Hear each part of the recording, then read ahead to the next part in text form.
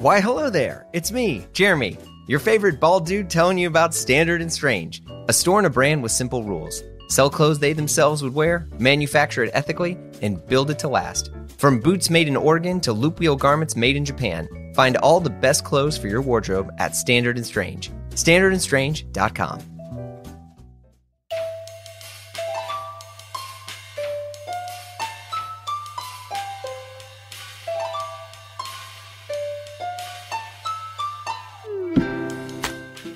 folks, my name is Jeremy Kirkland, and this is Blamo, a podcast about people and clothes. Yep, all that good stuff. How are we doing? Life is uh life's going steady over here. You know, lots of ups and downs. We got that fall and summer smashing together at the moment. I've been throwing myself into some new books. You know, spooky season is upon us. I'm about to crack open Dracula Daily, which is uh I got I got to plug this. I, I will definitely do this cuz I'm a fan but it's uh, Bram Stoker's original novel in real time. So it's not Dracula. This is Dracula Daily. I got to plug it because my cousin put it together. My cousin Matt Kirkland. Way to go, buddy. Really, really proud of him. No, he didn't write Dracula. He just turned the classic book into a real time newsletter and then turned it into a book again with everyone's commentary. Smart move. Anyway, I'm excited to read it. I don't usually do plugs, but, like, you know, I'm proud. So uh, I've also been watching nature documentaries about bugs and spiders and all sorts of creepy stuff. Um, not because I want to get scared. I'm just, you know, I'm I'm on the learning binge, but I'm getting into it. By the way, side note: is anyone a don't kill spiders household? This is an honest question because uh, I know a few folks that if they see the spider, they're just like, you know, go off, do your thing. I don't know. I'm debating. I've also been binging the epic podcast Periodic Talks, hosted by Gillian Jacobs who's actually our guest this week. What do you know? And geez, she was incredible, and we went just all over the map. First off, Gillian is an incredibly talented actor. She has amazing style, and is also she's a bit of a curious scientist. Gillian and I discuss how science and her love of nature has been a part of her life since the beginning. From dinosaur birthday parties to roaming museums, we chat about living in New York in the early aughts, her massive vintage collection, the clothes her grandma made for her, how her style has evolved, Thom Browne, and her favorite designers. It's Gillian Jacobs on Blamo. Dig in.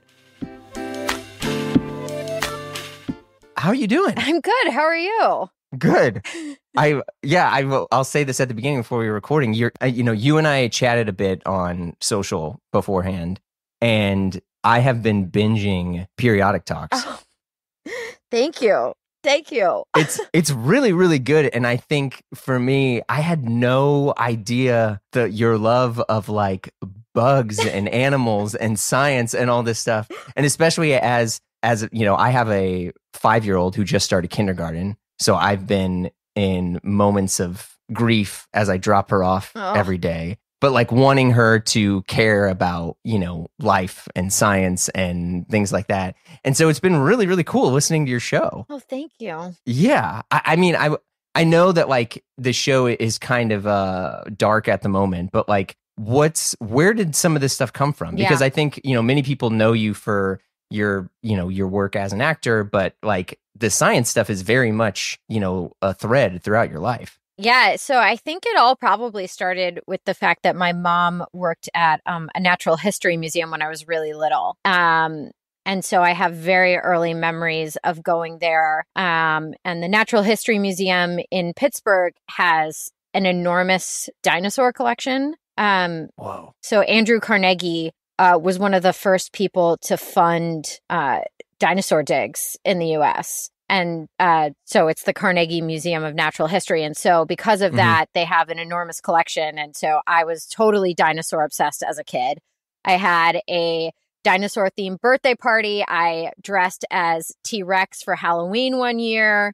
Um, so probably it goes all the way back. Wait, how, how old are you with the T Rex? How old are you in the T Rex? I'm like kindergarten or preschool. I have it. Um, Wait, you have it? Yeah my mom sent me all of my she's looking around i'm looking around i'm in a closet dear listener um, but my grandmother made me a green velvet t-rex uh, costume when i was a child with a tail and you know so i think it probably goes back to that and then i was um i was telling i think i, I talked about it on periodic talks where i was a teen docent then at that same natural history museum um, when I was older. And so I, I think it, it goes back, and my mom has always loved birds. And when I was a kid, I wasn't really interested in that, you know, but she would always be pointing out birds to me. And so I, I'm sometimes surprised that the number of bird names I know. And then I guess it just must be by osmosis, you know, from my mom.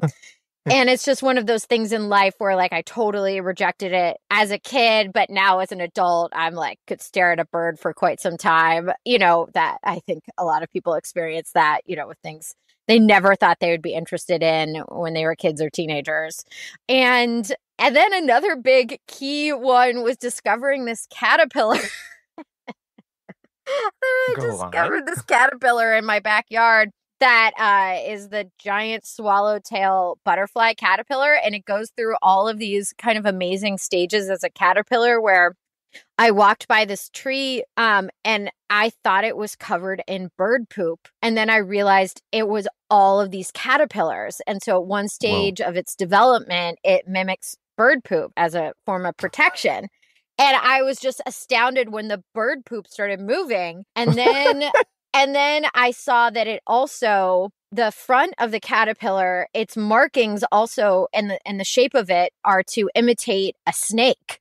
So it looks like snake eyes and a snake head. And then it Whoa. also, when it feels threatened, can shoot out this uh, forked uh, orange. It looks like a snake's tongue that shoots out of its head as another protection um, method, and it like emits a bad smell too. So I just became completely fascinated by this caterpillar and like how had it evolved to have all these defense mechanisms, and how can it eh, look like poop and a snake at the same time? and, and so then I was just tracking this caterpillar and watching it then form into a chrysalis. And then I was looking at the chrysalis all the time. And the chrysalis, when it forms a chrysalis, it looks like wood bark almost exactly. Well, this is a marathon Yeah, of and- nature here. and then I happened to just walk by at the perfect moment when the butterfly emerged from that chrysalis. And so I got to see the butterfly emerge and watch it fly around for the first time. And so I think that also set me on a whole other path. And so, yeah, birds and caterpillars, butterflies,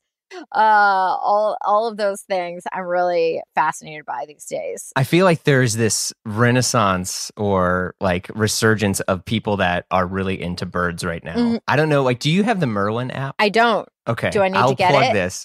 You you definitely do. Okay. So it's it's um it's this iOS app that's done um in collaboration or uh, from Cornell University. And what it is is it's basically like a birding like bird watching and listening app Ooh. and it records. So, you know, my wife does this where she'll go out on the deck at night in our house and she'll turn the app on and it'll, you know, record the bird noises and stuff. And then it'll tell you what the birds are. Wow. And then you, yeah, it, it uses your location. I, I swear to God, this is not an ad. It uses your location and uh, we'll be like, hey, here are the birds that are going to be relatively common around you around this time of year. Here are the ones that are uncommon Uh-huh. that you may see. Like there are like giant blue uh, herons, Yes. I think, near us right now. Yes. Like I'm like, I don't know why they're there. And there was uh there was like a barred owl in our backyard. I live like in the suburbs, but basically suburbs that never should have been anyway. So there's a lot of like nature that it backs into.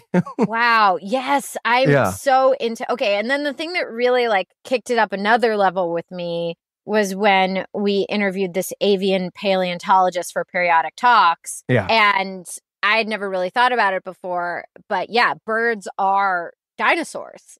So they're Oh, yeah. they're the, you know, the creatures that survived the mass extinction event. And um so if you're if you were ha- fascinated by dinosaurs as a child and you suddenly realize that you're surrounded by them all the time every day, you're I mean, I'm obsessed with the great blue herons as well and I mean that looks like a dinosaur. Come on. I mean like yeah, it does. you know- it does. They're very foreign looking.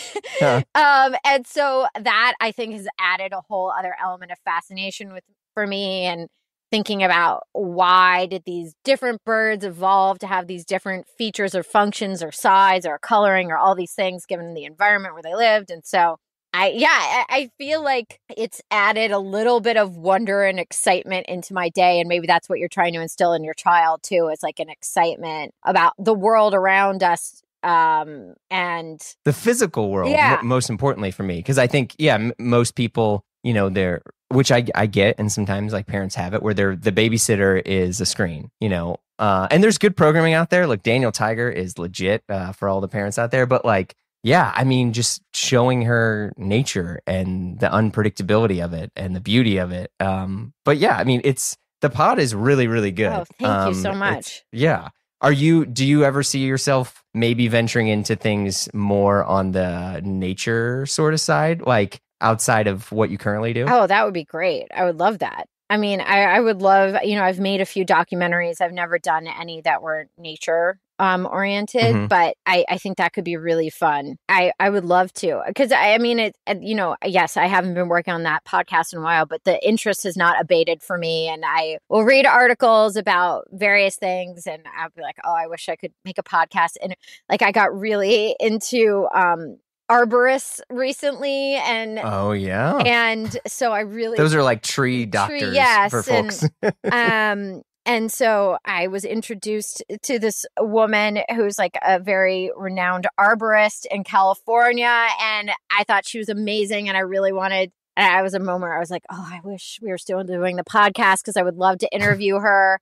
Um, so yeah, I, I still have that itch. yeah yeah do you um do you like go on regular nature walks and stuff around la now i mean because there's tons of wildlife there Yeah, so I I haven't really, but I just got a book put out by the um, Natural History Museum here in Los Angeles, and they actually have really great um, maps of various like differing degrees of difficulty hikes or excursions you can go on and give you a sense Oh. of like what plants or birds you could see there. So that's inspiring me to want to do it more. Um, yeah yeah, I, I I would like to. to like connect this back to when you were a kid like did you grow up with pets or did you have any pets We had cats when I was growing up. Um, oh I always wanted a dog. I was not allowed to have a dog. Uh, so yeah, we had. wait why cats over a dog I think because my mom was a single working mom, and like the the schedule of having to walk the dog, and you know all Oh. of that. Because she would, you know, she would work until like sometimes like 9 or 10, 11 at night. So, you know, it, was, I spent a lot of time with the babysitter. Uh, and, and I think like, yeah, it would have been overwhelming. Um, I think she was correct in assuming that I would not be like super diligent about uh, taking the dog on walks and you know, all the things you need to do for a dog. So a cat, I think, was easier to handle. Yeah, yeah. Cats are, yeah, I guess they're definitely much more uh, docile in the fact that you're not having to like take them out. Yeah. We had a dog. My wife and I had a dog for like the first part of our marriage before, mostly before we had kids. And it was like the best and hardest thing ever. And it was, in a weird way, it was like step one of kids Yeah. because you're just like having to take care of something that does somewhat, you know, respond and love back to you, but it's, you know, it, it's it's progressively getting worse and you know we, we were paying for we used to pay for what's it um like behavior lessons Uh-huh. and and dog training and it was a total shit show and then the dog and then like during the pandemic the dog had cancer because we Oh. adopted her and she was like 17 we had to put her Oh, down I'm sorry. and it was just like no it's i mean it's it's you know it's life but um i get it like i we would probably get cats if i wasn't so deathly allergic oh, you are? you know yeah i mean it's i kind of like making fun of cats in general because they're just harder to deal with and have attitudes and stuff but um so in pittsburgh you also were telling me that you were you know on one hand you have the nature side but then the other hand you're talking about you were obsessed with this book Oh, this yes. hollywood glamour book I also want to note that, like, as a child, I- did not want to be in nature. I liked dinosaurs. Like, my mom could barely convince me to go strong outs- correction there. Yes, because I don't want to give the false impression that I was like exploring in the woods as a child. No, my mom always talks about like in the dead of summer, I would be sitting inside with all the blinds drawn. So I, I was. This is like truly coming full circle, where you know. I, this is very much later in life, wanting to be outside. so I'll say I was really into dinosaurs as a child, um, reading about them, looking at them within the confines of a museum. But yeah, so I was also really into um, movies from the golden age of Hollywood. So I was obsessed with Katharine Hepburn as a child. I owned Yeah. several biographies of her, her autobiography, and I was also given at some point a book which was about the style of all of these famous movie stars from like the very early days of the silent era, maybe through like the 50s or 60s. And so I just remember obsessively studying that and it would be talking about, you know, the um, fashion designers they worked with or the costume designers. So I was probably a rare child who knew who Edith Head was. You know, I was I was really into that. Um, so yeah, I was very into Katharine Hepburn. Um, but a lot of you know um, time spent looking at photos. I, I, used to go home and listen to Cole Porter songs. Um, that would be Whoa, like that's heavy. yeah, like I'd go home from school and listen to like Cole Porter. So I I don't know. I I was like not really connecting with kids my own age uh in terms of the interests listening habits. Yeah, like did you did you get any sort of period dresses or anything at that time? Or? So I think another factor about uh, why I was probably really into that was that my grandmother was a dressmaker. Um, she sewed a lot. She made a lot of you know, um, in the like 30s, 40s, 50s, was making a lot of her own clothes. And when my mom and her siblings were little, she would like make make matching mother and child outfits uh, for them. I actually have some of those. Uh, once again, this is I didn't know we were doing this in in the archive, yeah. the Jacobs archive. I know. I have I have a lot of things that my grandmother made.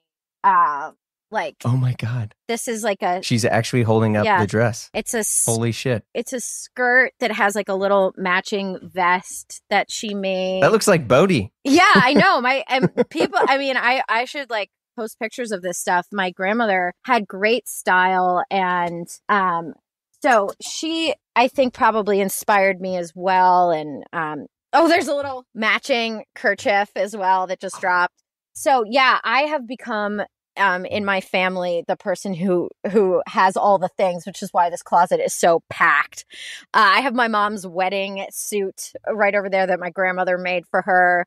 My grandmother, when I was little, made me um a robe and a matching one for my Barbie. She as I said she made my T-Rex costume. She made a lot of my early Halloween costumes by hand and there were pictures of my grandmother. You know, by the time she was my grandmother, she was actually wearing a lot of like um she was like right on trend for grunge, like a lot of, of flannel and like men's jeans. So yeah. and clogs, which I I wear. We find out your grandmother is Vivienne Westwood. You know, yeah, uh, yeah. So I think that that was probably a big inspiration uh, for me too. But I, I don't know they put it together at the time. Yeah, I was gonna say I think the bigger thing that is the most surprising behind all this is the fact that you have this. Yeah like you physically own this. Like I don't know many people. Oh my gosh! Whatever their life or career is, that have yeah okay. the clothes that they wore as a kid. Okay, and here's another one that I have right here was that like I I I wanted to be different, um, and so. I only went to a few school dances, but one of the ones I went to, I always bought vintage. So this was like my homecoming dress, which is like a 1950s oh, party dress that I got at this vintage store in Pittsburgh. And so, yeah, I was I was really into like wearing vintage uh for school dances. Wait, wh- I, why did you want to be different? That's a bigger thing. I think that I well, a I like I think I already liked it because I was watching these movies and studying mm-hmm. these, you know, costume designers and these fashion designers. And I, I, think I also, to be totally honest, like realized that adults really liked my precociousness around these things. and I did, I was very awkward around kids my own age. Um, but okay. I always got along really well with adults. And I think they all found it kind of like funny and cute that I was into these things. So I think that encouraged me as well, to be totally candid. yeah, no, no, it's fine. I mean, I we um we didn't have cable or like real TV. I'm kind of air quoting that when I was little, and so a lot of the stuff that I would watch when I was younger was tapes from the library. Uh huh. Oh yeah. So mm-hmm. yeah, so we would go to our local library, and it's funny because there was actually you know for some folks they'd be like, oh, I could only watch stuff from the library because I grew up in some religious household or etc. And it's like, dude, the library had oh, like yeah. that was where I first discovered um, Fawlty Towers. Yes and Monty Python yeah. and and and obviously one of the greatest shows of all time. Uh, please don't get pissed at me. Uh, Agatha Christie's Poirot. Are you kidding me? That Suchet. was like Friday nights with my mom was watching David Suchet Agatha Christie. Hell yes. was- Let's go. I was obsessed, obsessed. I think I've read almost every Poirot mystery. Uh, before Oh, that, so I was good. like a Sherlock Holmes completist. I had a two volume of like all the Sherlock Holmes.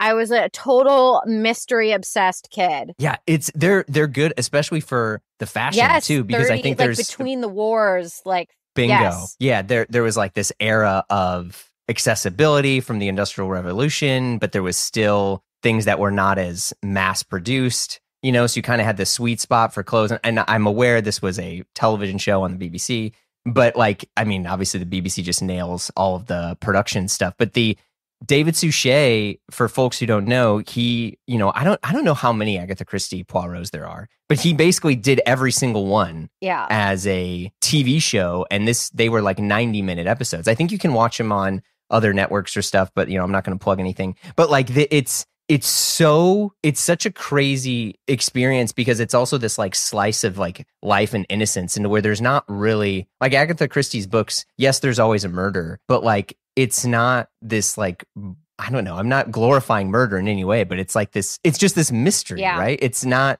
some sort of craziness to it. And it, you know, I always wanted to escape into Poirot's world because of his little suits and things like that. And Hastings is always an idiot, Yep. but he's somehow, you know, God, it's so good. Oh yeah, that was like a big Friday night for us. It was like I was allowed to eat on a tray in the living room while watching that. What were you eating? well, unfortunately, my, I have told her this. My mom was not a great cook, but I, and I'm a terrible cook. So I, I'm not saying this from a place of like, you know, I, I'm no better. Um, but I, I, I can't. I, I've, I'm trying. I'm struggling to. re- I, I just remember she was always making me eat lima beans, which I have to get. Oh. I have to get over because I still have that like childhood aversion to lima beans. Um, Well, the, also lima beans at that time were like really shitty. Like. I remember eating green beans and most of that stuff it was out of a can. I think we're close to the same age. I don't know, but like we're um, you know, my daughter like will give her green beans and stuff, and I'm like, these are great. Yeah. Like you don't know what I had to eat, dude. Like these these were just all out of a can and gross and Oh, there were so don't know. many vegetables I discovered as an adult, and especially moving to California. you know, things I just never encountered. So yeah. So you have so to go back, you have all these dresses Yes. that you got. Are- You wanted to be weird. So what what are the folks at your I school was wearing? weird. What were the folks at your school wearing when you're showing up in some sort of vintage well, dress yeah, or I, I, I wasn't always wearing vintage, but my mother was in total control of my wardrobe until I went to college. Like she would not let me buy anything that she didn't like.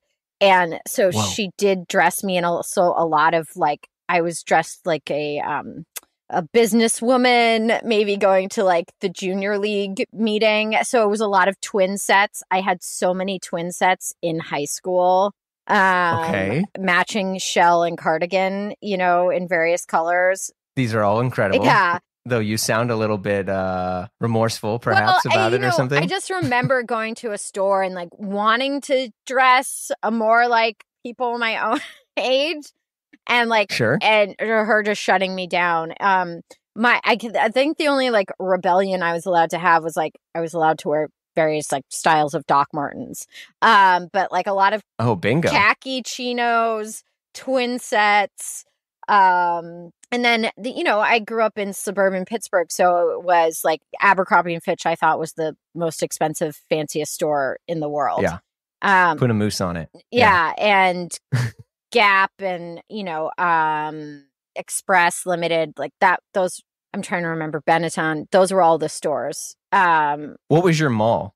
it was called the Galleria, and I could walk to it from my house. And they had a great movie theater. Wow. Uh, it was like a very fancy mall. Um, and yeah, but I, I think I probably just almost exclusively was shopping at the Gap. Um, Okay. and so then I go from that to moving to New York City for college at 17. You know, yeah. Oh, wait, you were at college at 17? yeah, I wa- I was young for my class. So I turned 18 Okay. the fall of my freshman year. So yeah, I started college at 17. And um, so that was huge for me because I was, I loved looking at magazines and looking at like fashion shows. And I was sort of aware of designers and all those things. I remember um, I had like a Vanity Fair subscription, and you know, I was like, um, but I had never seen anyone in real life just walking down a street wearing anything that would have been in like Vogue or Elle or, you know, so moving Right. to New York and going to the Upper East Side, going to Soho, going around the city, I was seeing people wear this clothing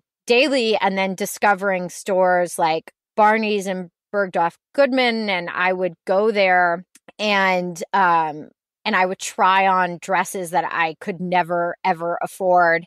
And I remember it's so like pathetic looking back, but I thought I was putting together like my fanciest outfit so that the people working there would let me try on the clothes. Like I thought I had to like be dressed, but my clothes weren't fancy, but it was like the nicest stuff I owned that I would put on to go to Barney's to try on like an Alexander McQueen dress, you know, that I was like obsessed with. And I remember one time I got one stuck halfway over my head and I was just pouring sweat because it was many thousands of dollars. And uh, they're, you know, banging on the dressing room door, being like, Are you okay? Can we get you anything? And I'm like, I'm fine, I'm fine. And I somehow, thankfully, managed to get out of it without ripping it, but I was truly terrified. Oh my god. I think we had very very similar stories in that sense like I moved to New York when I was 18 Mhm. and I I didn't have you know maybe the uh the wardrobe sort of prescription with with the paternal situation that you had but or maternal situation you had but like the um when I moved out there it, it was it's very weird I don't know if it's the city or the age I think that or maybe a combination of the both of the both that gives you this sort of like freedom and inspiration to reinvent yourself Totally. yeah, and so I remember I went to Dior, Oh, yeah. and this is like Hedi Slimane Dior, Yeah. and I I was living in the Lower East Side. I think my rent at the time was four fifty or or you know Yeah.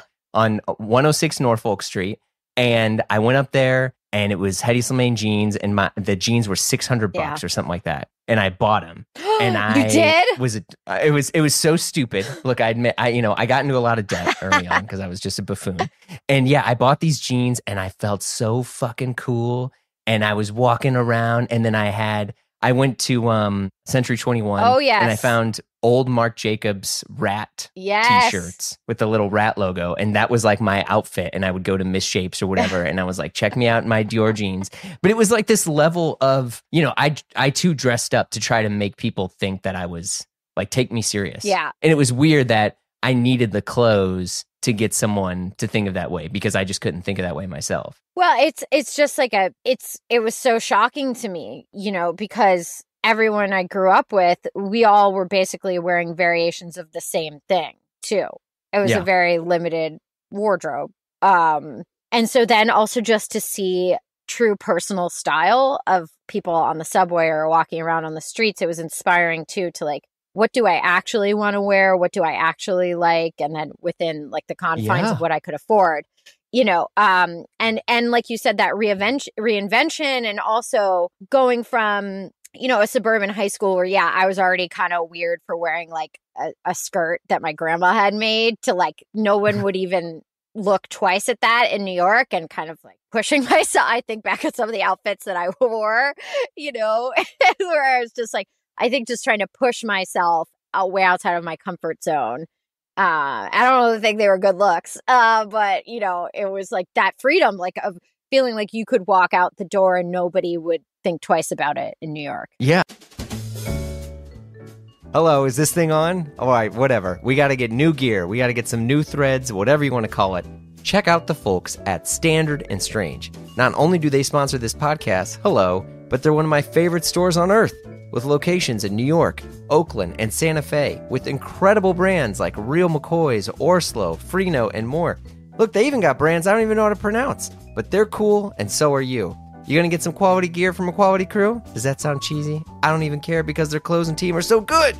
So visit standardandstrange.com or check them out in person at one of their amazing stores. That's standardandstrange.com. And now back to the show. When how old were you when you realized that the stuff you had was actually cool? i don't i don't think i had anything i i mean you mean like wearing like vintage or my grandma's stuff or like when i realized that was cool or Yeah, I think because the thing that's interesting about all this is you know, you you developed your own taste. Yeah. Right. And so like when when was it that you're like, oh my God, like, you know, you look, you know, a lot of us will look back at uh, parts of our childhood or adolescence and we're like, oh, I was so, you know, I didn't know what I had. Yeah. Like I didn't know what to be grateful for. Like what how old were you when you realized that you're like, oh my God? I mean, because obviously you've held on to these things as they're Yeah. sentimental. Um, I think I always thought they were cool. Like, uh, you know, my grandmother had really small feet. She wore a size five. So in in Whoa. like seventh grade, I could wear all of her shoes, and then I grew out of them. And I was like proudly, excitedly wearing them. Um, I think I don't know. Maybe I just knew it was a lost cause that I was never going to be popular, so I was just gonna wear what I wanted to wear. But then I was also like incredibly insecure and wanted deeply to be popular. But I, I whatever weird, you know, I think you succeeded. yeah, I don't know.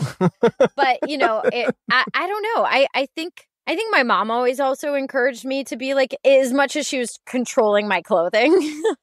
Sure. she also did like encourage me in a lot of other ways to be myself and to not feel like I had to fit in. So probably that I- I think you know, I don't know without my mom's encouragement. Um if it would have been exactly the same. Um well, here's the other thing I have to say is that like I was in I got I was lucky that as a kid I was in a lot of um plays with adult professional actors. Like I got the experience of being like the kid in the in the professional theater production with, you know, adult actors and so I also think that I had a kind of like unique exposure, you know, of from like age 12 through 17 of like meeting and getting to like be colleagues with fully formed adults who were artistic, interesting people. Oh. And so I think Yeah. that was like a really distinct experience for me where I was spending a lot of my time. Like I said, I was not as socially adept with people my own age, but I was getting to spend a lot of time with these directors and the other actors and, you know, costume designers and being in plays. And so I think that that was also probably really big. Um, I was getting lots of outside input from other than just like my immediate circle of kids I was going to school with. Do you remember like the first bit of advice or input you got that really resonated with you? I mean, the thing that I think really stayed with me was like if you're on time, you're late. Uh, you know, especially doing I did notice you were Yes. early to our to our recording because I logged in. I was like, "Shit, she's already there." yeah, it, so like doing theater, it's is so essential that you be punctual and you better preferably be early. So, um, yeah, that that I think was formative for me as a kid. Um, you know, you have to sign in when you get to the theater, or sign into rehearsal, um, all these things, and so I was. I I feel really lucky that I was given that lesson. I think I did the first like God, I did the f- my first play performance when I was like 8 or 9. So from a Holy very moly. early age. Yeah. What was it? It was primarily a dance piece. It was like a ballet of the story The Steadfast Toy Soldier, but it had one acting part and the rest of it was dance. And so they Oh. used to list um, auditions in the local paper on Fridays in the Pittsburgh Post Gazette. And so I'd been taking acting classes for a bit. And then my mom and I started looking at the paper and seeing if there was anything that needed kids in it. And so Mhm. this was the first audition I went on. And I didn't realize that it was primarily a ballet or a dance piece. And so when I showed Mhm. up, they assumed that I was there for the dance audition. And I am a terrible dancer. And so I was thrown into this room with all these other kids who were trained amazing dancers and um given like, you know, a 12 count to learn and I was so god awful that the director pulled me aside at the end and was like, "You're not here for the dance audition, are you?" And I was like, "No, Oh, I'm not." But then they got me in the right room and I actually got that job, which I think was like a very bad precedent to set for a career as an actor of like booking your first part. So that was a really fun, amazing experience for me. And I, so yeah, I was the only, I was at the beginning and the end of the piece, and the rest of the show, I was asleep on the side of the stage on this like hard styrofoam quote unquote mattress on this bed. And so it was like my dream, you know, like the the dance was like my dream.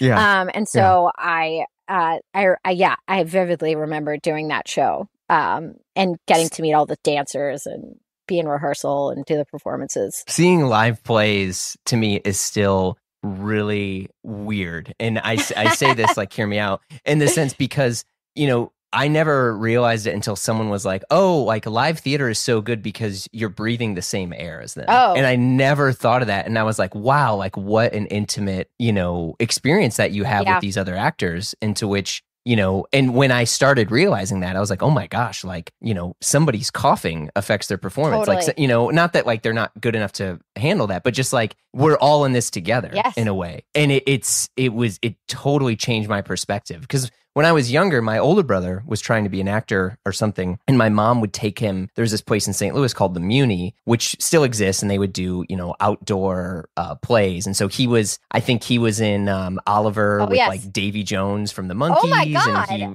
he, yeah, yeah. Well, I mean, he wasn't with Davy, but he was. uh Yeah, he was one of the the orphans in Oliver, and um, and then he was in like Peter Pan, and he would do all these things. And I remember just seeing the the rigorous, you know, training that like these young kids did, and you know, the singing and the dancing, and then seeing everyone do it and knowing that each night could be slightly different. Yeah. You know, even as a younger kid, it, it gave me this sort of level of appreciation that, you know, like I don't think I understood Shakespeare until maybe two years ago.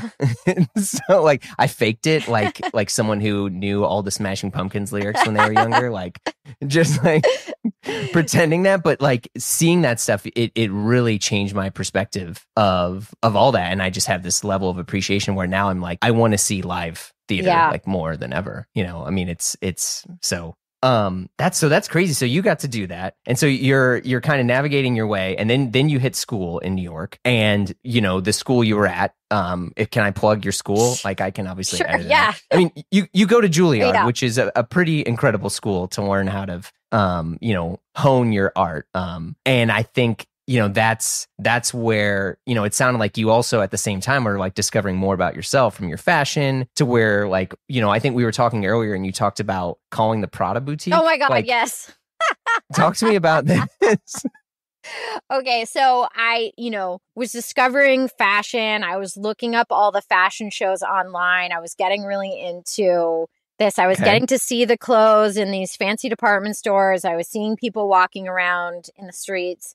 And the pro- and how old are you at this time? I'm like, you know, 17, 18, 19, you know, that those ages. Okay. And um and so I discovered the Prada store in Soho and it has, you know, those uh I haven't been to it in years, so tell me if it's changed, but like it almost had like stadium seating where it was going like going down, like it was yeah, I think this was the Rem. This is the Rem Yes. Koolhaas Prada. Yes. I think. Yeah. And so I was like, oh, that could be like seating and you could do a performance. And I think I knew Yeah. that Mrs. Prada was very into art. Um, and so I had some convoluted idea that they would want Juilliard theater students to do a performance there. And I remember I, I mean, it sounds amazing. I well, we didn't even have anything to do, and I didn't even ask my classmates. I just like I think I wanted in at the you know at Prada. So I yeah, Yeah. I I like just cold called or emailed the Prada store in Soho and never heard anything back. Unsurprisingly, oh my god, I feel like they probably would regret that. I don't know. I don't know what we would have done. but yeah, so I think I was also seeing like the intersection of like art and fashion, and you know, I was really Yeah. into Alexander McQueen runway shows at that time, and um, so I think I I just thought it was really cool, and I'd had like a little bit of a taste of some kind of like performance art in high school. I went to this summer arts program that I'm forever plugging because the state of Pennsylvania defunded it years ago and I would love to bring it back because it was truly one of the most incredible experiences of my life. Um, with no hyperbole, it was called the Governor School for the Arts. And so, it, oh, this is also, this was hugely formative to me as a person too. So it was like five weeks over the summer. Um, it was completely free. It was paid for by the state. Uh, it was 200 kids Wow. From around the state and it was all these different art areas so there were dancers visual artists writers actors musicians basically you name it they had it we were all living in the dorms at this college taking classes and every night there was a performance and so Oh wow. we would all get to see each other do our various art areas all the time. You'd go to like a poetry reading, you'd go to an art gallery, you'd see a modern dance performance. And the guy who ran the theater program there um, had a kind of like performance art a site specific theater company in Philadelphia. And so the pieces he was having us do was not like we were doing like Bye Bye Birdie. Like we were creating, I remember we created a piece based on the paintings of Edvard Munch in the like grotto lawn area. You know, Whoa. so it was to me, it was completely mind blowing because although I'd been doing a lot of theater before then, it was much more, I was doing Shakespeare, I was doing, my, you know, musicals. It was much more traditional. I had never been part of something like that. And so I was just obsessed with it. And that I think probably inspired me to email the Prada store. Because I was like, I could make a site specific piece here. I think, but there there's a um I don't know there there's like a an innocence in Oh, that yeah. that I think is is great. Right? Yeah. Like, I mean, why not? And like, why shouldn't you do? Do you remember what was it called? I don't even know if it still exists. It was like improv everywhere. Oh, yeah. and they would just do like random you know i don't i don't even know what they called it it was like swarms or whatever Yes. of like live stuff at union square and things like that Yeah. No, I yes, and I, I and I'd had another uh teacher back in um Pittsburgh in high school who was also telling us about that sort of uh the history of that as well and we were like concocting pieces there and I don't know if we ever did it but I think we were supposed to like go out on the streets and do performances but I, I was maybe too shy to do that. But yeah, so I think all of that was probably swirling around in my head. Um and it and, and it is also that feeling I don't know if you had when you moved to New York um of like endless possibility and like anything could happen. And I do remember like walking randomly running across I don't know if you ever experienced this it was like Chenguin it was this like performance art. It was like people had were dressed in these enormous like mascot looking costumes that were like half penguin half chicken. And there was another one that was like half penguin half skunk and I remember the first time I ever heard about it, one of my classmates had like gone downtown because we also were like in Lincoln Center on the Upper West Side and in class Oh, all yeah, the time. yeah. So we didn't really have a lot of time to actually go around anywhere. We were pretty, you know, and I, I, I was like a little scared too. So I was just basically on the Upper West Side for like a year or two. but I remember like one of my classmates like went downtown and came back with this enormous plastic egg and we're like, what is this? And she's like, I was like in where was she? In like Astor Place and there were all these like plastic eggs and this thing. And then I remember walking through Soho with my friend and suddenly we were like swept up into this performance thing and these people are dressed in these costumes and they're playing like a game of football and it was totally spontaneous and the police came and shut it down and like but a whole crowd had formed and so you know when things like that are happening around you it kind of makes you feel like you could do something like that too i don't know i was yeah. Yeah i was i had my similar thing was was basically um i had an ipod Uh-huh. at the time and i went to very specific locations that i had heard in songs oh So I was like going around the West Village and listening to Bob Dylan and being like, he was here, man. you know, and so sweet it's so stupid. I've never told so these stories. sweet. You know, and then I was just like, yeah, I was like, I wonder, I wonder what life was was like right here. You know, what what was Dylan thinking? You know, and then I would go to um to where you know, because I was into music, but music that I thought was like cooler than what my friends were into. Yeah. Like I'll admit, I because I just didn't really know. So I was you know, it was basically just like Paul Simon and, and Bob Dylan and and you know, like old singer songwriter stuff, which are still good. And you know, I remember going to where Paul Simon's house was, and I was like, I wonder how many times he came out here, like what was going through his head, like like I could catch some sort of hidden energy of musicianship. Um, but yeah, I did little walking tours, that's cute like that, not like official ones, but I would just kind of make my own and walk around neighborhoods trying to pretend that I was, you know, Dylan. that's really sweet i love that you did that Well, it, it didn't. It didn't work. yeah but it's like because obviously, it, it you know i don't know i also didn't grow up in a city that was like a walking city in that way so i just would like Yeah. sometimes just wander around for hours at a time um because i had nothing like, did you ever go to the Dakota, like thinking that like you're gonna catch John Lennon's ghost or something? no but that was not far from where i went to school so i would yeah if i was going to the park Yeah. and wanting to go in that entrance i would walk by the dakota yeah i don't even think i fully knew that i was just like what is that building that's incredible I mean, it's still one of the most beautiful Yeah, buildings. I would love. Yeah. I've never been inside. I would love to be able to like see an apartment in the Dakota. Yeah. Yeah, I don't I don't think many people have. I mean, it's still also super super private. Mhm. Like no matter how wealthy you are, you can't even I think they have like a specific board and you have to buy you have to, I mean, even if you have like unlimited money, you can't just like get it. yes. Um, but I remember going by Strawberry Fields, which is next door to the Dakota, and one of the times there was like a bunch of I don't know, maybe Columbia kids or college kids or whatever, or Juilliard kids, It- and they're all I was sitting there. like, oh god, it was probably Juilliard kids. And they were all singing John Lennon songs. could've and, been and I didn't realize I was there on his birthday. And I was like, yeah, I'm going to join in too. But I I think that was also at this time where, you know, like we were talking about, where there's this like innocence where um, I didn't realize that the clothes I was wearing w- would really, it, it affected how people saw me, but thus really affected how I saw myself. yeah. And I think there was that special time that I still try to figure out now as an adult where, you know, I'm, you know, what when whatever I put on, I'm trying to be conscious of like what is, you know, how how is this gonna make myself feel? You know, Yeah. like even when I'm going to drop off my kid at school in my head, you know, I have a few friends who live in LA and they're like, Man, I gotta get dressed for the carpool line, you know. oh really? Like I Oh yeah. Oh yeah.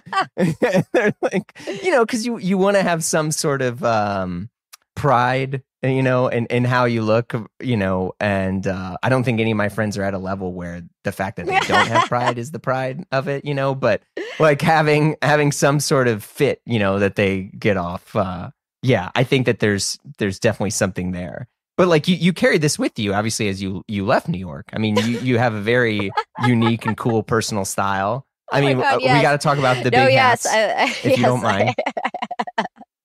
yes, I do have a very unique personal style, which yeah, these days involves an enormous hat. And um I I was thinking about yes, I think probably it goes back to my love of um like 30s, 40s. There were a lot of great hats in movies back in the day. I actually have a hat box full of Yeah. vintage hats in the Yeah. other room. Oh my god, you got all the gear. You got to have like an archive Um, or some that were like my grandmother's, some I bought at vintage stores, and so I think I always liked that. I was really into like Rosalind Russell, and she always I felt like wore like amazing hats in movies. And then I also Mm-hmm. um, was in the south of France for five months last year working on um, on something, and there's so many in- incredible straw hats that are like traditional to Provence and that area, and I think I got Yeah. like inspired seeing those, and so yeah, I have an enormous straw hat that I really like. That is probably pretty distinctive. I, I would say it's extremely distinctive. It's you, you know, I mean, do you do you have like do you uh like build your fits for when you're going outside, or is it just like whatever's by the door? I, you know, some there's more or less thought put into it depending on the day. more or less Yeah. thought. Yeah, sometimes it's yeah, sometimes I really feel like I'm putting together an outfit and sometimes I, I'm not really thinking about it at at all, really. But a lot of clogs too, which I think does tie back to my grandmother. She wore, as I said earlier, she wore clogs all the time by the time I was a kid. Clogs as in Birkenstocks, or you're like no, like I'm I'm um you know I'm on some neo brands that no one's If heard of. if clogs. by neo brands no one's heard of, you mean Dansko clogs? Yes. Oh okay, those are like yeah, those are like food Yes, service and health and service. yeah. So I that's that's pretty much my day to day shoe at this point. Taking care of the arches, I get it. Got to. Yeah, you got to try Haflingers. I don't know Okay, if you send ever me tried those. send it to me. Yeah, they're house shoes. Okay. They're German wool felt house shoes. I'll Ooh, send them okay. to you. And you know, they're specifically made for wearing in your home. Okay. Um, so like, are you are you a shoes off house? Like, if someone comes over, you take your shoes off. I either way. I'm I'm I whatever you want to do. Well, I'll say this: I'm a shoes off house. I don't care who you are. If you walk into the house, take your damn shoes off. but we um but we have like house shoes that we'll Yeah. wear around the house. You know and a lot of this was from new york because you know i, I lived in new york for 16 17 years and your you know your feet would be pretty like i don't know god knows where you're stepping in right? And so we had to you know we had specific house shoes and it's something that's kind of like you know my wife and i have like we've carried it in uh to our our place in the suburbs now. And these Haflingers, swear to God, no free ads, but like, man, they're they're the greatest little warm, cozy shoes, and they got some nice arch support and stuff. Because everyone's like, oh, I'm wearing Birkenstocks or I'm wearing, and I'm like, nah, fam, I'm I'm, I'm on the new new. All right. Send it my way. I'm open. yeah. Um, I also want to talk about Thom Browne because I know you're you're quite the fan of of Thom Browne. Absolutely. Um, and they're quite the fans of you, by the way. Me? Yeah. Oh, great. The te- no, seriously, like, I- they are big fans of you. One of my one of my good friends is like employee number six at Thom Browne, wow. and uh, for a long time you were on their uh, mood board. I, I told I told Chris this. Oh, he did not pass this along. I did not know that. Oh, that's hugely flattering. I, I love Thom Browne. Yes, I I um if I was to adopt like a day in day out single outfit at this point, it would might be Thom Browne. Interesting. Um, yeah. I'm I'm really into the shirts. I'm trying to think of like what else I have been wearing lately. Well, I think your stuff's so unique. I mean, the fact that like many of the things that you referenced were things that are more or less one of one is yeah. is pretty phenomenal. I mean, that's what most folks strive towards. Like, have you have you ever had anything personally made for you as an adult? I don't think I've ever had anything made for me, but I have like benefited from and really understand the power of tailoring um, from costume designers and stylists that I've worked with. Yeah. Um, that that's amazing. Um, so definitely that. Um, and I don't always get things. I don't often get things tailored, but I've seen the huge difference that that can make. But I'm trying to think of anything made for me, not off the top of my head. But I'm looking, yeah, I'm looking at another one of my grandmother's coats that I totally wear. Still, I have got a couple of her coats that I still wear. You have Uh, to send me pictures. Of I this will. if you're okay with sharing. This is absolutely will. incredible. Yeah. Um, I'm trying to think of what else I have Oh around my here. god! Yeah, I have I have so many things. I really need to like work on purging it, but then I get really sentimental about it, which is why I think everyone just started in the family started sending everything to me. Oh, Um, okay, that makes sense. So, Yes. the stuff that you were mentioning earlier, it's not like you carry these. I was not I moved so many times in New York, that would have been insanity. You know, I I well, I, know was- that's what I was saying. Yeah, no, no, no, no, no. no. I had, I had, I owned almost nothing when I lived in New York. Um, it- this is like since I've moved to LA that my mom Okay. just slowly started sending things to me. But some of the coats I had had for a long time and was wearing, um, even before then. Um, but yeah, I think uh, I've become the repository. I mean, like, oh my god, I have these like enormous so my grandmother my grandmother loved to be in the newspaper the local newspaper and so i have organized i have all these She's holding up a binder of news clippings. yeah i have Goodness gracious. so many of them um and so my what an honor to your grandma. yeah To be honest with you, that's that's really. I mean, I think that says more about the fact of how much you care about the relationships of people who've poured into you than it does Oh. just your ability to save. There's something Well, there. It you know it's really cool because i also i was going through all these boxes of things that my um aunt sent me and you know my grandmother ha- was a person of a lot of unfulfilled dreams and desires and ambition and so Okay. you know artist clothing designer she really wanted to go to college there were a lot of things that she didn't get to do i think in the way that she wanted to do them or at all and so i found um some like wallpaper pattern designs that she had done and I had those Oh. framed and hung them up and I kind of have a, a desire to like get you know it printed as wallpaper. I have some like sketches she did that I framed and hung um and so it's really cool like I have all uh, oh talking about like inspirations as a kid I have all these um, scrapbooks that she made when she was young where she was cutting out pictures from magazines of actresses and models and so I have those and I used to do my own version of that. Like I said, I had my Vanity Fair subscription, you know, and I was like cutting out pictures from like ad campaigns that I really liked. And Do you know. still scrapbook? My mm-hmm. wife does this literally every night. Oh, She's- really? I'm downstairs playing. I'm downstairs like trying to watch some Criterion thing, Yeah. and or playing video games. I'll just be honest. And she is upstairs, and she's got like some sort of screen on that's on like as a passive thing where she's Yeah. usually either listening to a true crime podcast or watching some sort of you know thing, and then she's scrapbooking in which she'll take magazine cutouts and she'll put them like superimpose them over her journal Wow. or over yeah i mean but there's she she just loves the like i don't know like scrapbook and save that stuff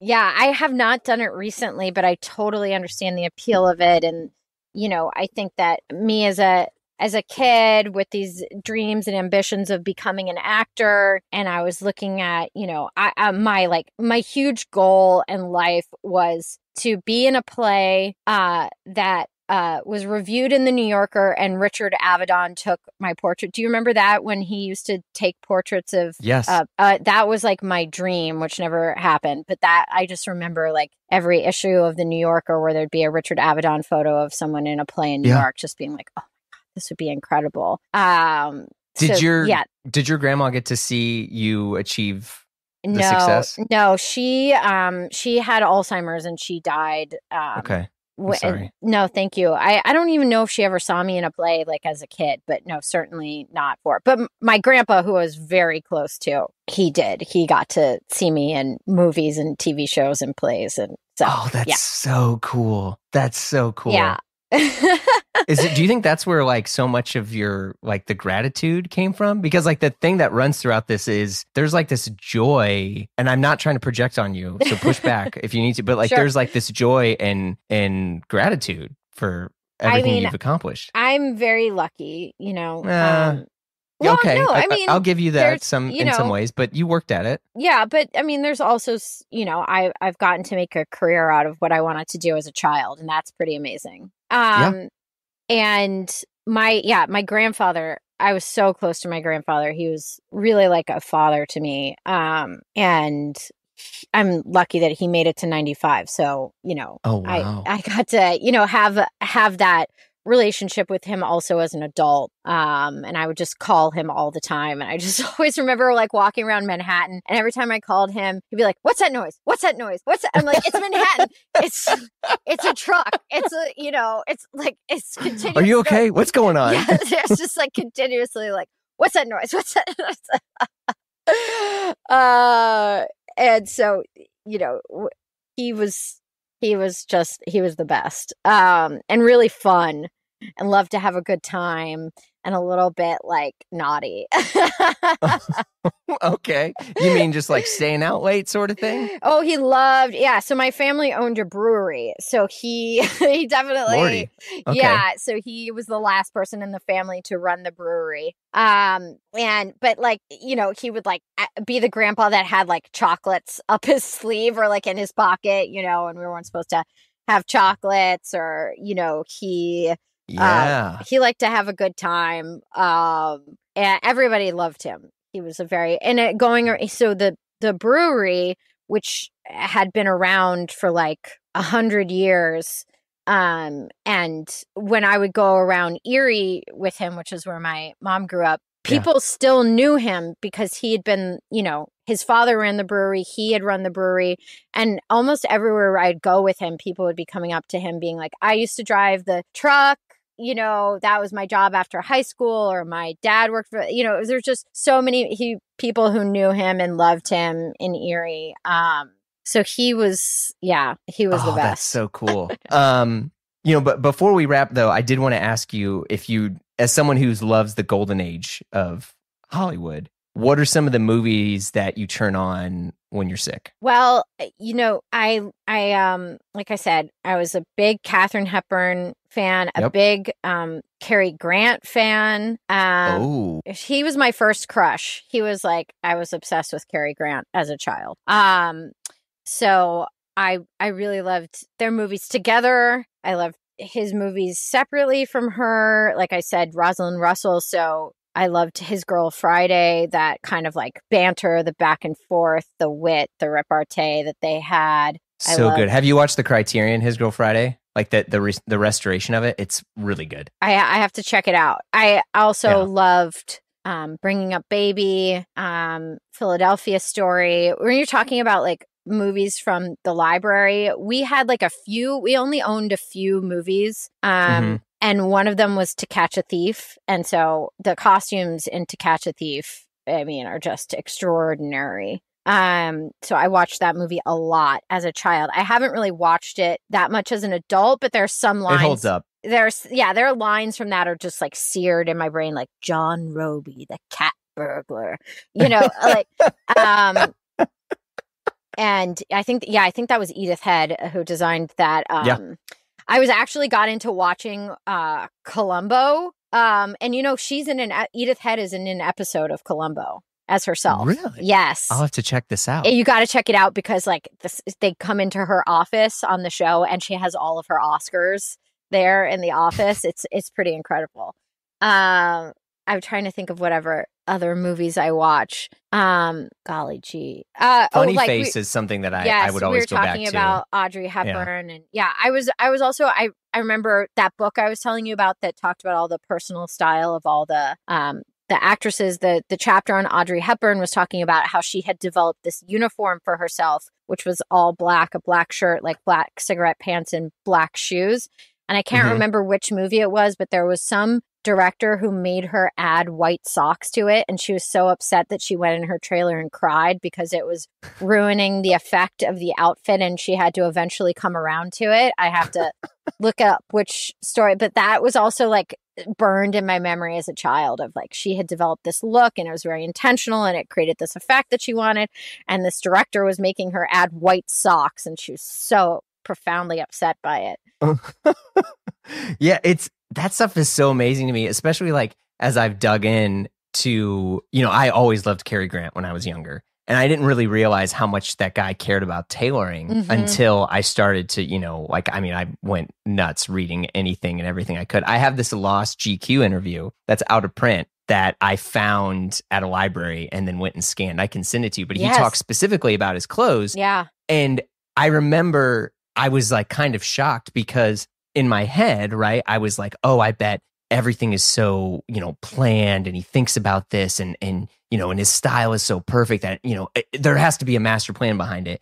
And he basically talks like, no, you would just go to Brooks Brothers. And I didn't realize, I'm like, oh, like clothing wasn't like ready to wear was still very new for Mhm. that sort of time. And, and he was like freaking out over the fact that he could go into Brooks Brothers, grab a jacket and leave yeah versus getting something made and it totally like you know changed my whole perspective because i i also loved steve mcqueen Yeah. and you know and every other stereotypical sort of cool guy of that era and you know the more i learned about them the more i found out that their style was just really their their behavior uh-huh. versus the the choice in clothing that they made that really reminds me of another thing. I just remember, you know, having read all these Katharine Hepburn biographies as a child. There was like one point when she was going on auditions and she was wearing a sweater that had a hole in it. And mm-hmm. her agents were like saying, You can't wear this to these auditions and these the executives and the casting people they don't understand it and she said something like if they don't have enough imagination to cover this hole then they're like not worth working with or something like that you know and she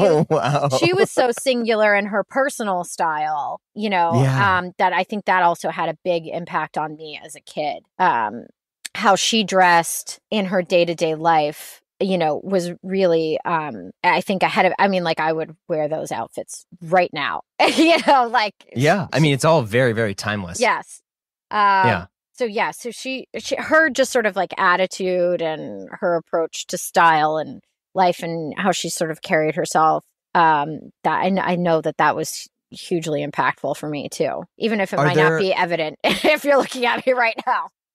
No, I mean, well, uh, first off, we're you know this is we're recording, so it's don't worry about any of this stuff. But I mean, all other photos and stuff of you. I mean, I think that was also one of the reasons why I really wanted to chat, is because you you have a very a very unique sense of style, and I think like how you carry yourself versus you know there are other people, and this isn't like not shots or anything, into which it's like oh you just wear what you get for free, right? Uh-huh. And like having a point of view, I think is very underrated these days for some reason because many people they're just cool I got it for free or I'm so insecure I don't ever want to put my own, you know, style out there at the risk of someone judging it. You know, and I Yeah. think there's there's two strong Oh perspectives there. Well, I remember uh, living in Williamsburg and trying to put together what I thought was like a cool outfit. And Okay. um, I remember my worst nightmare coming true, which was I was walking down Bedford and I saw these two girls and they were, you know, obviously had a lot of money and like really expensive purse and all these things and and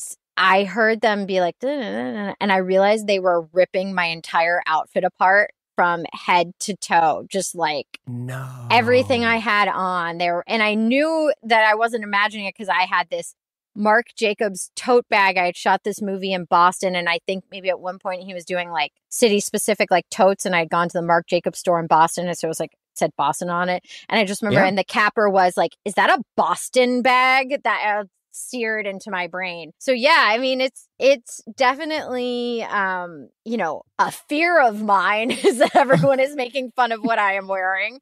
And I experienced that in junior high and high school when I was wearing my grandmother's funky jewelry and, you know, patchwork skirts to school and her shoes when I was in seventh grade. But I guess um, not enough that I, uh, you know, don't stop putting together kind of um, uh, specific outfits. I think I think you did okay. okay, yeah. thank you. So I I um I'll tell you the story. So we're starting. You know, I was saying earlier, my daughter started kindergarten, and we went to one of these like meet the teacher nights, right? And so it was like kids were there with their parents. Yeah. And one of the reasons why I moved to New York when I was younger was because I, you know, didn't really have the best high school experience mm-hmm. here. Um, I loved clothes. People called me the F word, all sorts of stuff. And um, I saw this woman there and I was like, I think, I was like, I went to high school with her. Wow. And she was like a really popular, you know, woman or girl at the time in high school.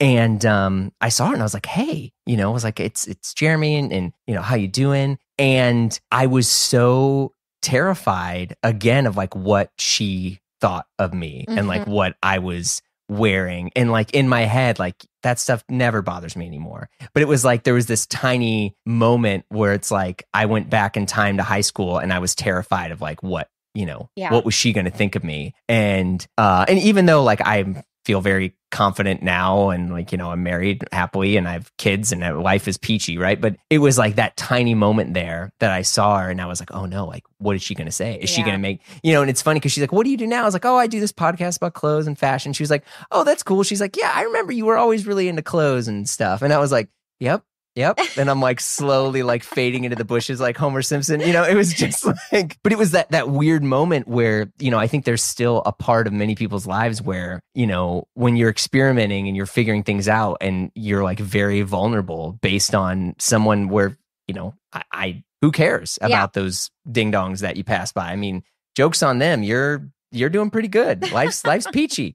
You know, so I think that's uh, that's something that I always try to think about now whenever I'm going to put something on that like maybe it's I don't know maybe someone's going to comment on it on Instagram or some yeah. you know rando's going to say I should hit the gym more or something. I don't know. But I still go back to the well. I mean I still love it. Yeah. I still love it. Well there is so much to love too and like that's also really, you know, are talking about like going back to the excitement and everything of like that feeling when you discover a new designer that you were really into and mm-hmm. it's a mm-hmm. whole other way of being in the world and um and so I, you know, I still feel that way when you discover someone new that you're really into and um is there anyone new you discover that you've been as i was saying or, that i was like new to you? I was like Gillian come up with an answer. As i was saying that i was like you know it's all right we got, got nothing there. No this is like this is not new at all. This is not new. I'm not saying this is new but like you know uh it definitely dries van noten is a designer that i love and that i that's like. serious taste right there. That's if you know you know so that's definitely a designer where um, I, you know, try and buy some of their stuff. I, I don't own a ton, but I, I love Dries Van Noten. That's um, uh, wh- where did you get turned on to Dries? I mean, that's R.I.P. opening ceremony. right, yeah. a store so ahead of its time. Yeah, I mean that was that was huge for me when that opened in New York too. I remember going yeah. there and just being like, "What?" Um, so yeah, definitely discovered so many designers from opening ceremony. Yeah. And Do you are there any stores in LA that you hit up or just to kind of browse um, for inspiration? I mean, eh, back in the back back in the day, I someone mm-hmm. introduced me to Maxfield, which like I didn't even know clothes could cost that much money, you know. and, I, and, once again, like I told you, of me going around Barney's or Bergdorf, Maxfield yeah. was the LA version of that for me, where I would just like walk around and um was like too scared to like try anything on, but I was like just blown away by Maxfield. Um, in more recent time, I guess Dover Street Market, you know, we've lost so many stores. Um, so Dover Street Market uh, is definitely um, a store that I will go to and browse around. And um, do you still have that yeah, feeling when you go to stores? Yeah, Get like out, come I, on, really? I mean, it's so cool. It's like different versions of yourself that you could see. You know, when I was, I told you, oh. I was like um, shooting that uh, I was I was working in like the south of I was in Marseille and there was like Yeah. really someone in the cast told me about this great clothing store slash like cafe that was really near to where I was living and Mhm. so I started going in there all the time and um looking at their clothes and like French clothing lines that I'd never heard of before or, or other ones that I did know and um and yeah, I got that like same nervous um Oh going into a cool store with like cool people that work there who are dressed really cool feeling. Yeah, I get like Oh. nervous walking into like Dover Street Market. You know, like There is some I wild stuff in there. Yeah, it's like, well, what is this neon green paint on the wall that means? Oh, it's clothes, and you rip it off and wrap it around you, and you're like, oh, okay, didn't know that. Yeah, but I think I I still have that like intimidation factor, but I I also get really inspired by it. And then um I really like going to like vintage stores and antique stores too and some that Yeah. have like a wide mixture of some clothing, some home goods, stuff like that. So I really enjoy doing that as well and I haven't gone to too many estate sales, but I would definitely be open to going to more estate sales too and I think that's really cool too just to um I love, you know, uh like object object, whatever you call it. Like I like, you Sure. know, things uh from earlier eras and um I can get really into that as well. But as I told you, I'm very sentimental, so I have to be like very careful about like uh, not buying too many like little things that serve no purpose. Um Uh, I yeah. don't want to fall into the clutter, uh, you know, space. So I have to be kind of rigorous with myself. But Yeah, Yeah. I if if you like estate sales, yeah, come to the Midwest because it's like the stuff that people have, I, and it's not like a cultural thing or like oh they don't get it, but like there's just so much, Yeah. you know. And I mean, you you grew up in the Midwest. There's a lot of stuff around there where well, that's a subject um, of great debate. Is what is Pittsburgh? It's because if you say you're the Midwest, other people from the Midwest will tell you that you're not, and you're not East Coast.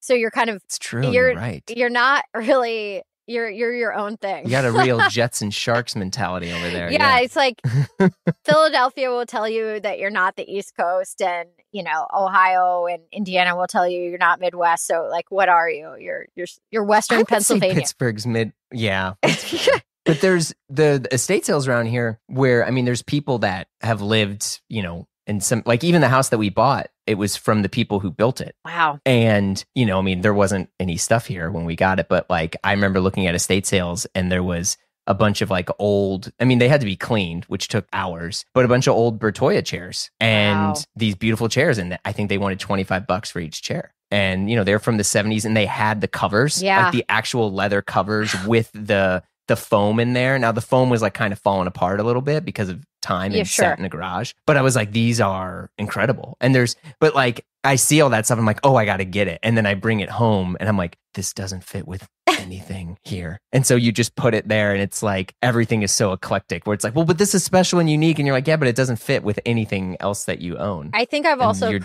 just- the precipice of too many chairs too. Like more, cha- oh, okay. more chairs than than I could possibly need. Yeah, there's Yeah. a chair quote out there. There I. I agree. Well, Gillian, thank you so, so much for coming on the show. Oh, my Um, pleasure. You've been extremely, extremely generous with your time. But before we wrap, though, is there anything you want to add, mention that I didn't discuss with you or whatever? Oh, I did um a guest episode of this podcast, um, 99% Invisible, that I'm very proud of, about the history of the Hollywood Walk of Fame. So Oh, I'll plug uh, that. was really fun. I got to Was it of- with Roman Mars Group yes, or was yes. it? So I, Okay. I like guest produced, guest reported an episode for them.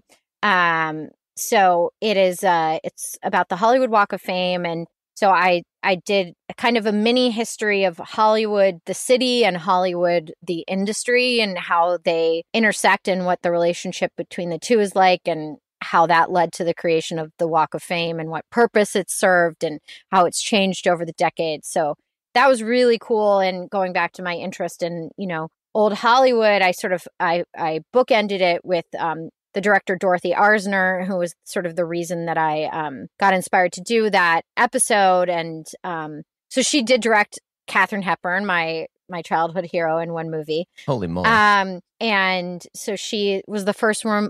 She was the first woman to uh, join the DGA, the Directors Guild. She still holds the record for most studio films directed by a woman. I think that's the correct verbiage. Uh, it's sadly Oh, wow. never been beat. She's not yet to be beat in terms of like Hollywood studio films directed by a woman. Um, and she was kind of forced into early retirement at a pretty young age. Um, and after retirement, wound up teaching at UCLA. And her most famous student was Francis Ford Coppola. So I got him to answer a few questions for the podcast about about Miss Arzner um, and his recollections of her as a teacher and a director and everything. So I'm really proud of that. Um, 99% Holy invisible. moly. Yeah, I'll definitely plug that. well, thank you. Thank you so much. Um it was it was great to meet you and I appreciate you coming on. Thank you for having me.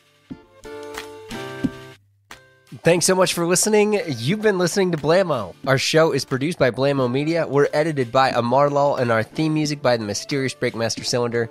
If you like what you heard, share the pod with a friend. Leave a review on Apple Podcasts. Give us five stars or whatever it is on Spotify. And you can follow us on Instagram for all the hot content at Blamo Podcast. If you want to talk to us, you can send us an email at info at blamopod.com. Last but not least, if you want to hang out and join the Blam fam, visit patreon.com forward slash blamo, where we have tons of exclusive episodes and our amazing Slack community. All right, folks, thanks so much. We'll see you soon.